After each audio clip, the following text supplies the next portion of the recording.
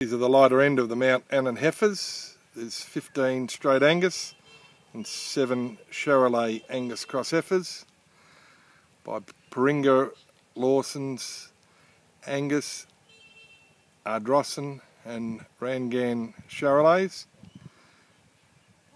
They've been weaned for two months